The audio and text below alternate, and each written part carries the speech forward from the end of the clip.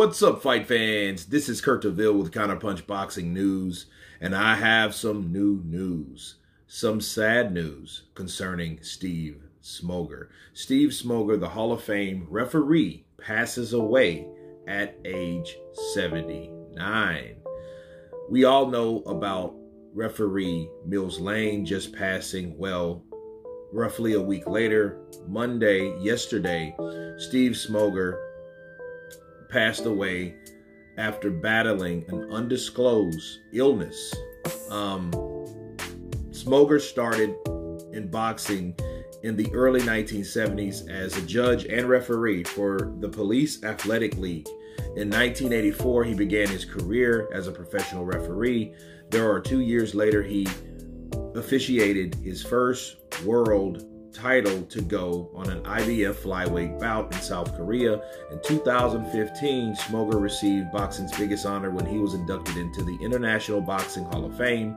Smoger is also a member of the New Jersey Boxing Hall of Fame, Pennsylvania Boxing Hall of Fame, Philadelphia's Spot Hall of Fame, and Atlantic City Boxing Hall of Fame. Smoger, one of the most respected referees in the sport, has officiated nearly 200 title fights.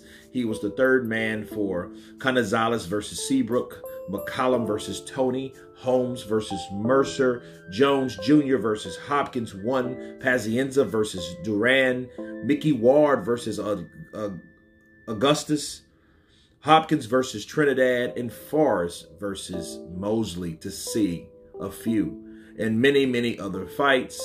Um, he will be missed. I remember uh, Steve Smoger counterpunching Steve Smoger as one of the laid back referees. You know, he wasn't really big on over officiating a fight. He let a fight take place, he let a fight unravel without a lot of discipline and uh, but then yet fairness.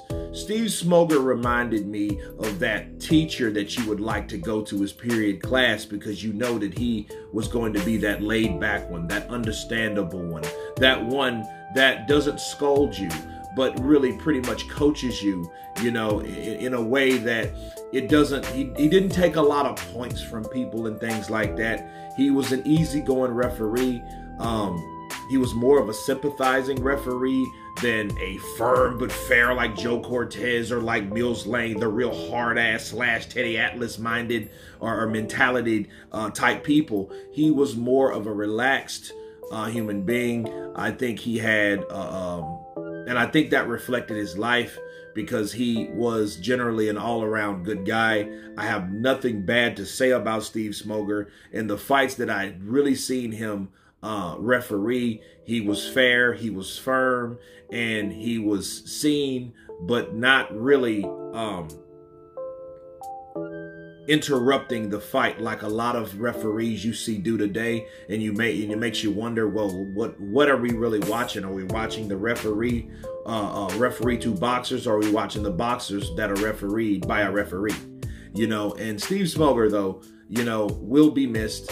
Um, he has a lot of accolades. He's made his mark in the sport of boxing. You guys tell me what you think of Steve Smoger's passing recently. Of course, please subscribe. And you guys been counterpunching. Peace.